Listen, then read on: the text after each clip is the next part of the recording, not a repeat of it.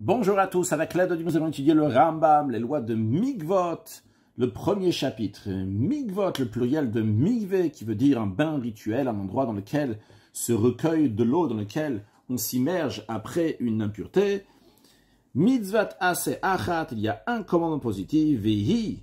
Ce commandement positif est le suivant, Yidbol kol que tout celui qui était impur, s'il veut se purifier, il n'y a pas d'obligation, mais s'il veut se purifier, il doit se tremper dans un pain rituel, c'est-à-dire même lorsqu'il y a des procédures à faire, d'attendre sept jours, d'asperger des eaux de lavage rousse ou ci et ça, etc., il y a après le fait de se tremper dans le bain rituel, et uniquement après se tremper dans le bain rituel, après, il sera pur de cette impureté, ou ou mitzvazo, ou l'explication de ce commandement dans les chapitres à venir. Peregrishon alacha aleph tous ceux qui sont impurs, ben Adam ben Kelim, que ce soit un être humain qui est devenu impur, que ce soit un ustensile qui est devenu impur, ben Shenit ou Torah, que l'impureté soit d'un niveau sévère, donc d'ordre biblique, ben Shenit ou ou bien qu'ils ont été impurs uniquement par une impureté d'ordre rabbinique, un laem tara, le seul moyen de se purifier, c'est ella bidvila bemaima nigvim bekaka, uniquement lorsqu'ils vont s'immerger dans de l'eau qui est rassemblée dans le sol ce qu'on appelle un migvé. On verra dans la suite qu'il y a donc certaines personnes qui ne doivent pas juste se tremper dans un bain, rituel, dans de migvé, que l'eau est rassemblée, mais ils doivent se tremper dans un mayan, dans une source d'eau. Les détails, donc, on verra plus tard. Halachabet. À chaque fois qu'il est dit dans la Torah, laver la chair, rincer la chair, kibus begadim, bien le lavage des vêtements minatumot, des impuretés. Qu'est-ce que signifie ce lavage, qu'est-ce que la Torah elle veut nous dire? La Torah elle est en train de nous parler ici. C'est que tout le corps va s'immerger dans le bain rituel. Ah, pourtant on retrouve à propos du Zav, donc un homme qui a eu un écoulement, il est écrit là-bas,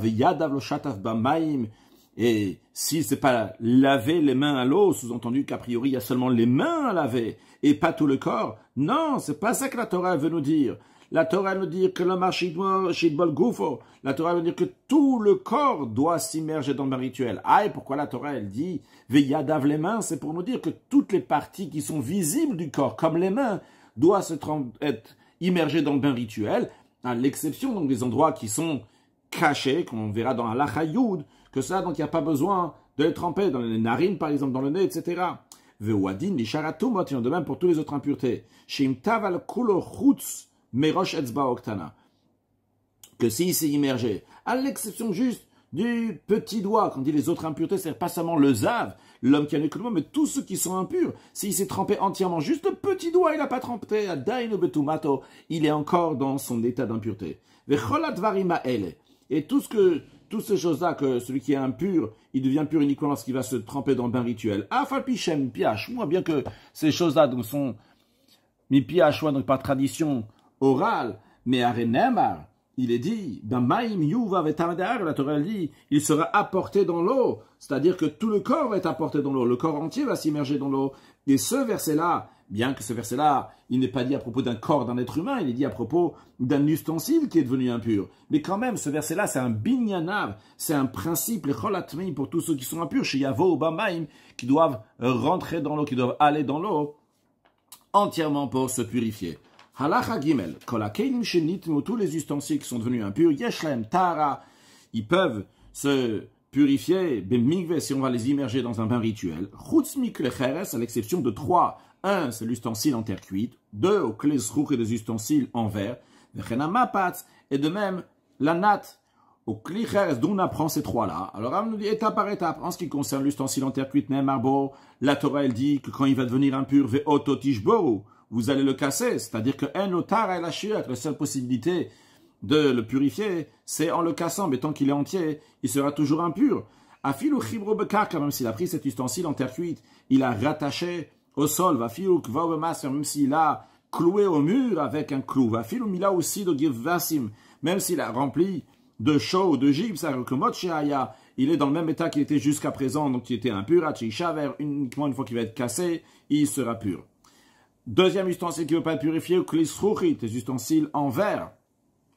Eh bien, tout simplement, les ustensiles en verre de base, d'après la Torah, ils ne contractent pas l'impureté. C'est les sages qui ont décrété l'impureté sur les ustensiles en verre parce qu'ils sont faits du sable qui ressemble à un ustensile en terre cuite qui est fait de la terre, du sable. Donc, ça semble d'avarze, il en de même aussi pour la purification de cet ustensile. Les sages, ils l'ont comparé à un ustensile en terre cuite. De la même manière que l'ustensile en terre cuite, le seul moyen pour qu'il soit pur, c'est en le cassant. De la même manière aussi, l'ustensile en verre, le seul moyen pour qu'il soit pur, c'est en le cassant. Non, la troisième chose qui ne peut pas être purifiée, c'est la natte.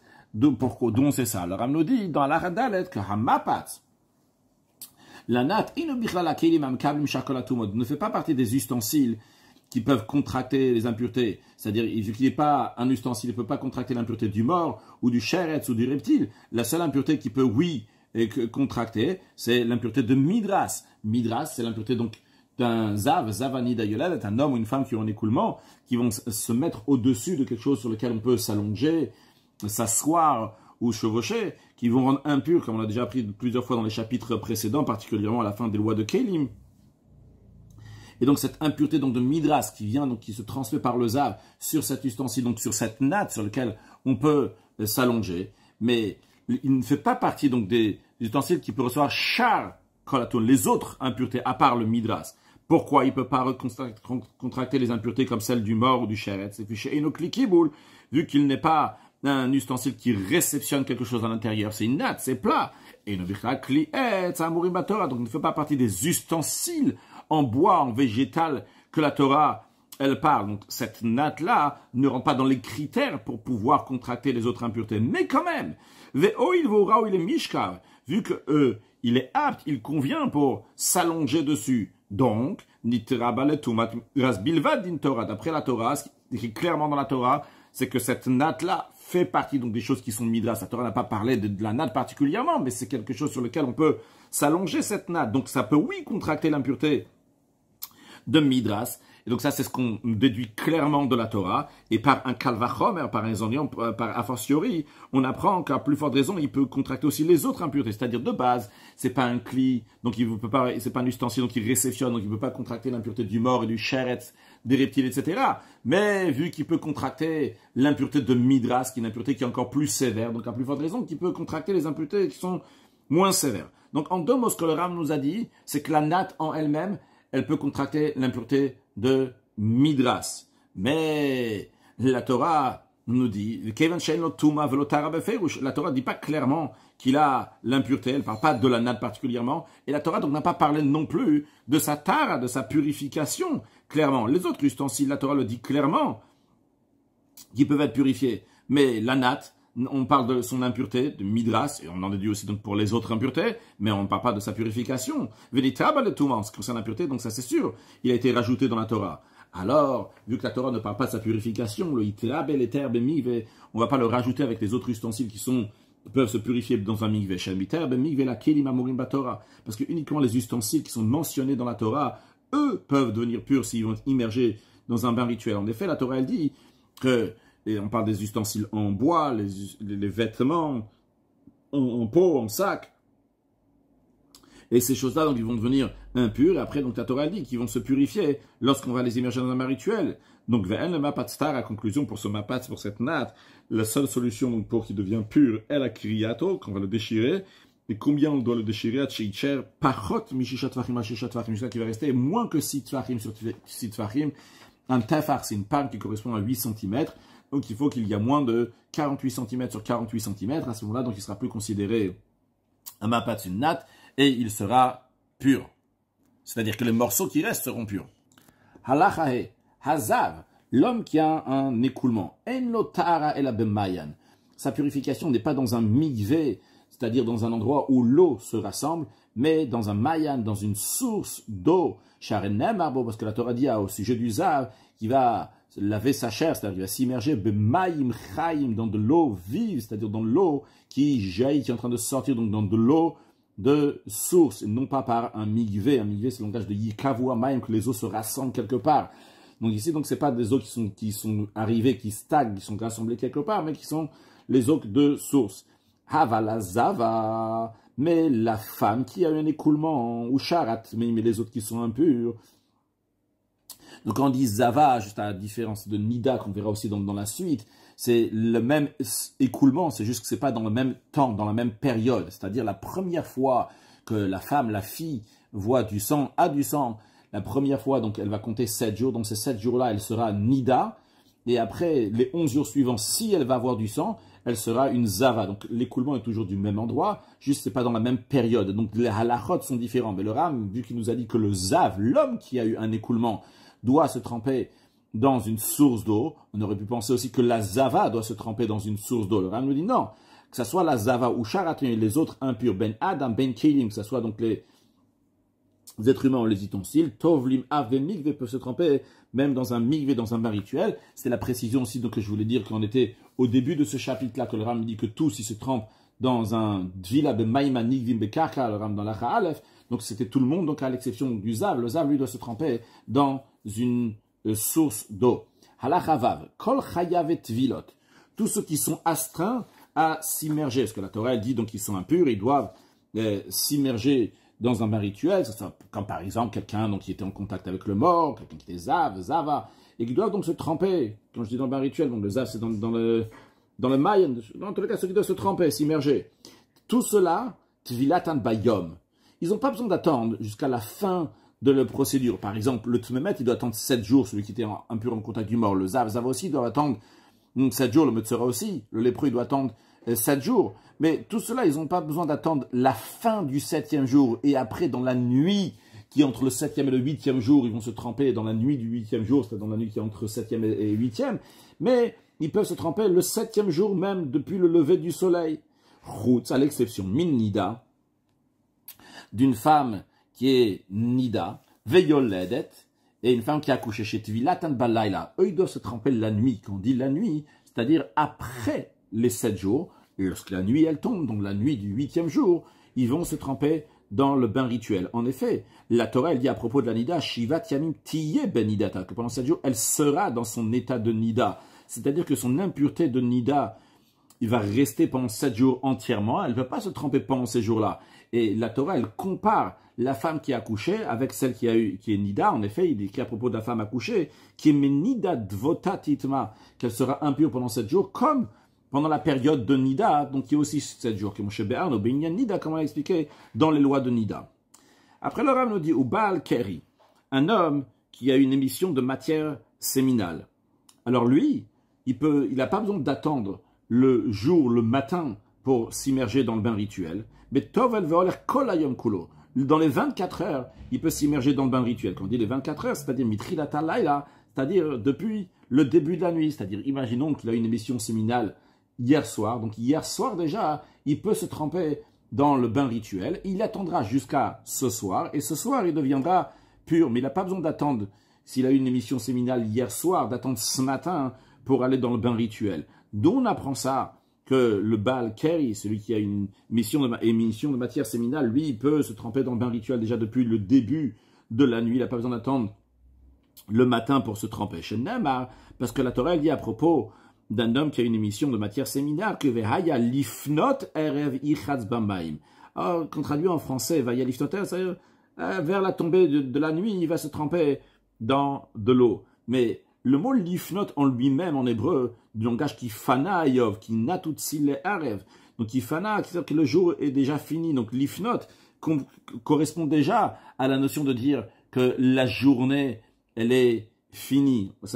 On parle déjà du soir. Donc c'est comme si il y avait écrit deux fois ici. L'ifnot c'est le soir et RF c'est le soir. Donc comme s'il écrivait il y a RF ou bien mais RF ad RF, donc du soir jusqu'au soir. C'est qu'il a les 24 heures pour se tremper dans le rituel. C'est-à-dire encore une fois, imaginons donc il a une émission séminale hier soir à 18h. Donc on était hier soir à 18h, on était déjà aujourd'hui les 24 heures donc, du jour d'aujourd'hui ont déjà commencé.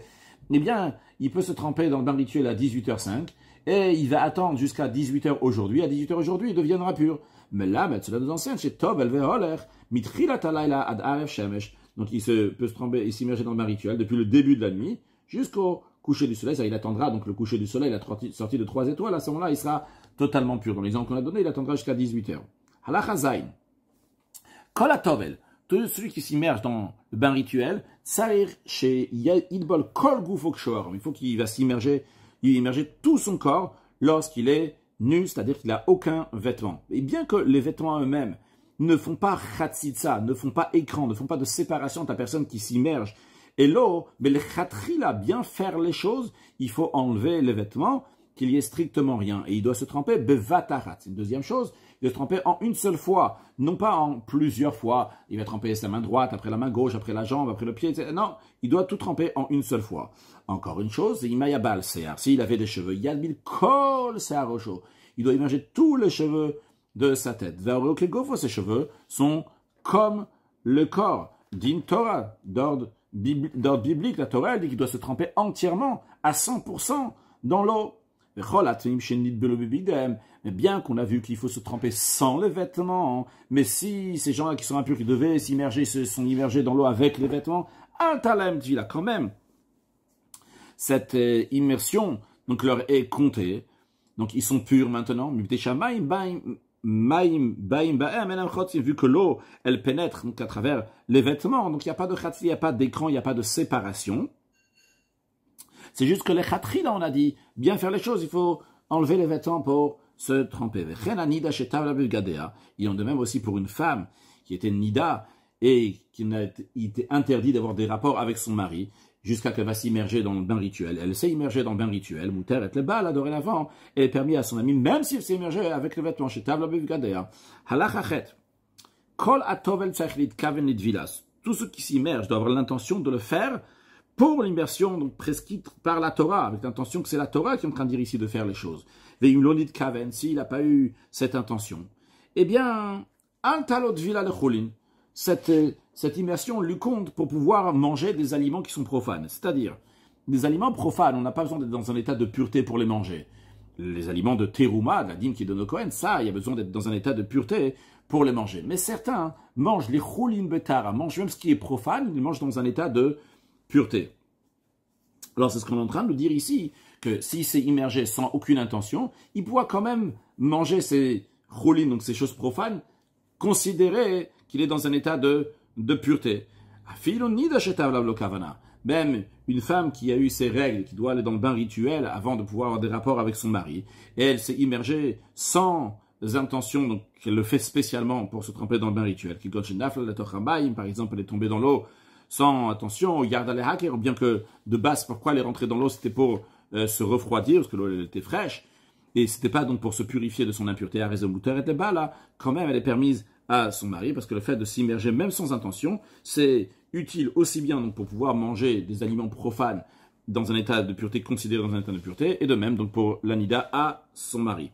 Avalitum avec kochim, mais en ce qui concerne donc des aliments qui sont terouma de l'a mais kochim de la viande sacrificielle, ou des aliments sacrificiels, seulement de la viande, ça va du pain sacrificiel, etc., ou bien juste même les toucher, Eina teor, elle n'est pas pure, jusqu'à qu'elle va s'immerger avec l'intention de se purifier de son impureté.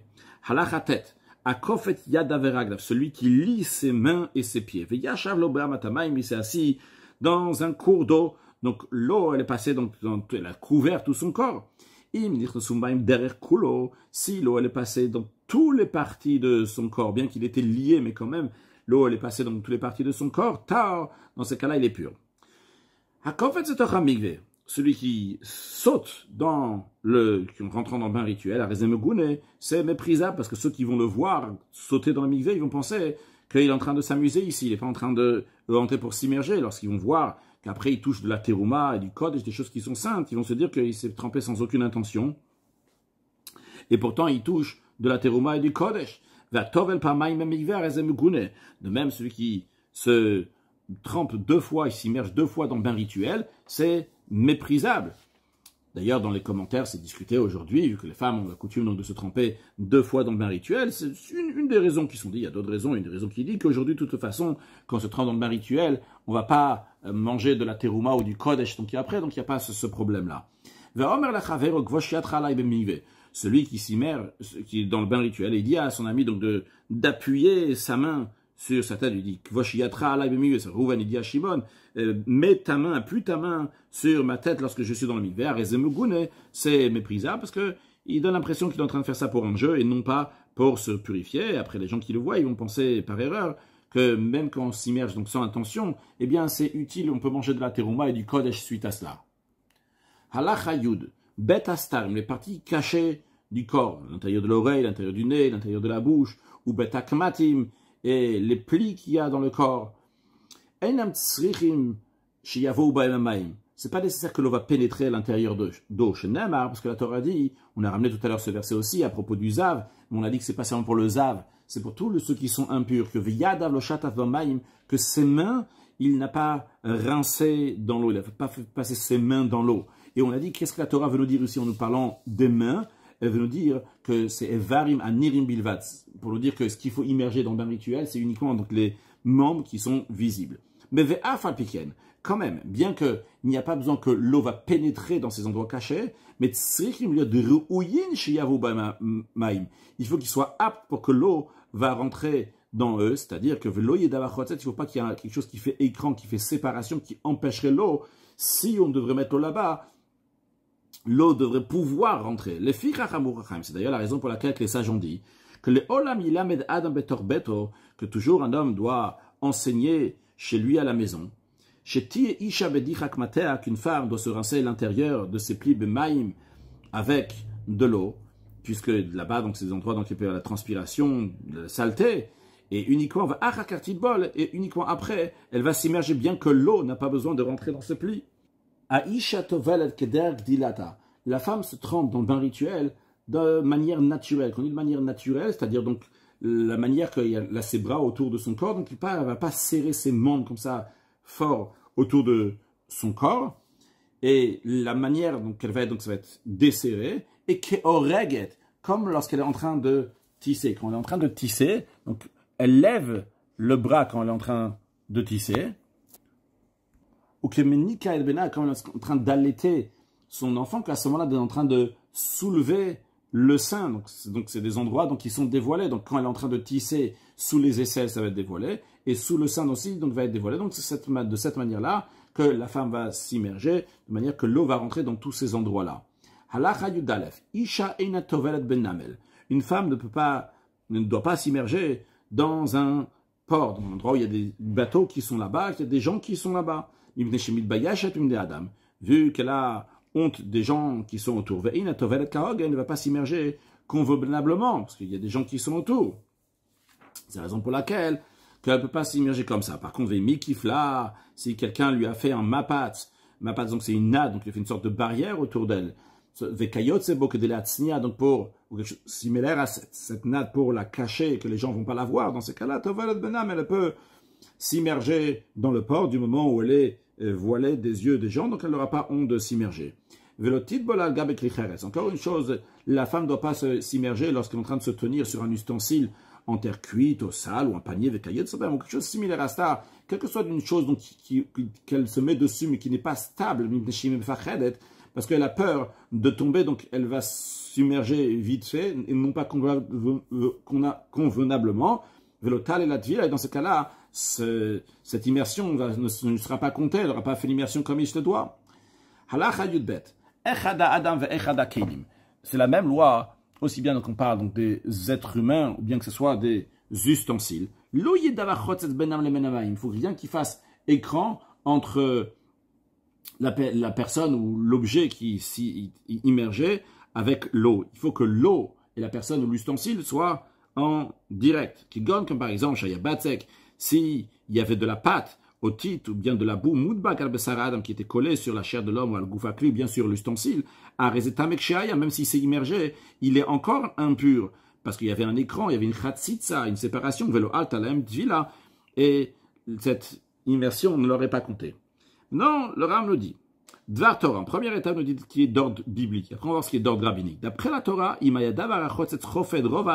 s'il y avait quelque chose qui faisait écran qui recouvrait la majorité de l'être humain ou la majorité de l'ustensile, le alta la tvila. La tvila, donc l'immersion, n'est pas comptée. Mais, bidivre sofim, d'ordre rabbinique, chez kol davar le sage on dit que toute chose qui fait écran, imayamak pidalav, si ça le gênait, lo alta tvila. La tvila, l'immersion ne lui compte pas, afal miuto, même s'il est seulement sur la minorité de la personne, la minorité de l'ustensile. Ils ont décrété ça. Dans un cas où ça serait sur la majorité de la personne, et il sera magpid, ça va le gêner que même d'après la Torah, c'est pas une bonne immersion. Encore une deuxième chose qu'ils ont décrété, c'est que toute chose qui fait écran, droub aussi couvrait la majorité de la personne, ou de l'ustensile, de villa, ce n'est pas considéré, on ne lui compte pas donc cette immersion, il est comme s'il s'est jamais immergé. Même si il n'est pas makpid, ça ne le gêne pas. Gzer, la saison décrété ça, mishum rubo makpid dans les cas où il y a une majorité qui le dérangera, oui. Nimtseta omer, ce qui en ressort de ce qu'on a dit. Shimayal besara adamo al davar midvarim que si sur le corps de la personne, le corps de l'ustensile, il y avait quelque chose qui faisait écran, comme batsek, comme de la pâte, de la poix avec un yotzebem, ou des choses qui sont semblables à ça, filou tipa. Même si c'est une goutte qui est petite comme le grain d'une moutarde, vous makpidale, cette personne, donc ça le gêne, le altalot vila, l'immersion n'est pas considérée une immersion, et si il ne se gêne pas, altalot vila, c'est compté comme une immersion, et la imkanaya chofet rova rova adam, uniquement si ça couvrait donc la majorité de l'ustensile, la majorité de l'homme, que dans ces cas-là, ce n'est pas considéré une immersion, comme on vient de l'expliquer. Conclure avec un mot de Chassidut, le rabbi apprend un, enseignement extraordinaire en ce qui concerne donc la manière qu'on doit se tremper dans le bain rituel, que même un cheveu doit être immergé dans le bain rituel. A priori, le cheveu, c'est uniquement quelque chose qui est à faire, qui est tout à fait secondaire. Quand quelqu'un donne une grande sambalade nous, c'est quelque chose d'extraordinaire qu'il a fait. Et on va le faire avec un grand bruit, que tout le monde va voir, que tout le monde va se comporter d'une telle manière. Mais quand quelqu'un juste il a eu juste un pauvre, il a donné comme ça un peine, il a donné quelques centimes, et après c'est pas grand chose. Et rabbi donc explique longuement comment c'est pas, c'est pas grand chose pour expliquer pourquoi c'est pas grand chose. Alors on va dire, nous, on va faire une grande histoire de cela. Eh bien, la réponse elle est dans cette halakha. L'importance d'une petite chose, que si c'est immergé, et il manque juste un petit doigt qui s'est pas immergé, le petit morceau, l'extrémité du, du, doigt qui s'est pas immergé, ou bien un cheveu qui s'est pas immergé, eh bien, on le dit, c'est comme si c'est pas immergé. Alors, quelqu'un peut dire, eh, c'est pas, c'est pas grand chose, c'est petit, c'est un petit quelque chose, c'est juste un cheveu. Qu'est-ce qu'on en fait? Toute une histoire. De là, on apprend l'heure d'Akadosh où il n'y a pas de différence entre une grande chose ou une petite chose. Et donc, de là, on a à apprendre que chaque chose, elle est extrêmement importante pour amener ma now, une excellente journée.